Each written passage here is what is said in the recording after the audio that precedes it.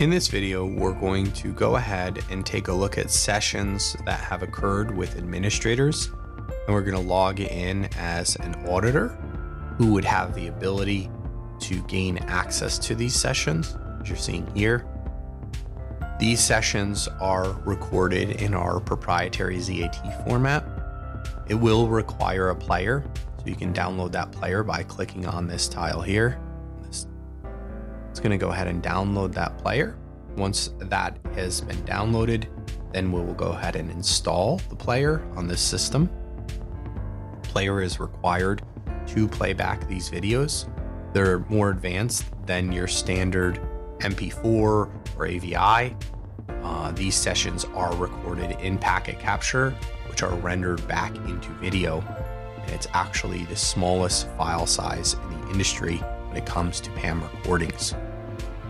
This player will complete its installation. Once that is done, I will then go ahead and download a session from this list here. And it's just completed. And I'll go ahead and download this SSH session that took place earlier.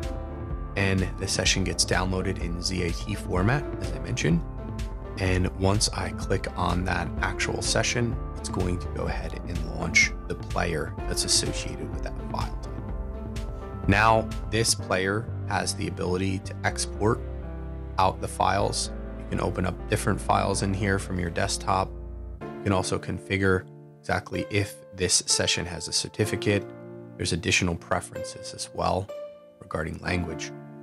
And I'll go ahead and go back and open that file once again. And if I click on the play button here, you'll notice that anywhere that is gray that appears to have no activity, and anywhere that is indicating blue is when activity is occurring on the screen. So you don't have to waste your time looking at a session where no activity is occurring.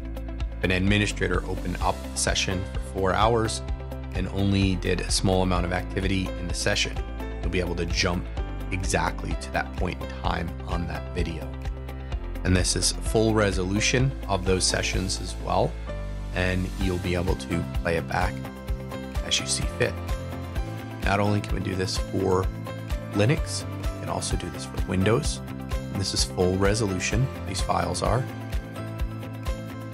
And if I go ahead and play that back, you'll see when activity occurred on the session itself and when no activity is occurring. So it's logging that user in. I can go ahead and jump ahead. You'll see that it's logging in here. And every single thing that this user is doing is being completely recorded.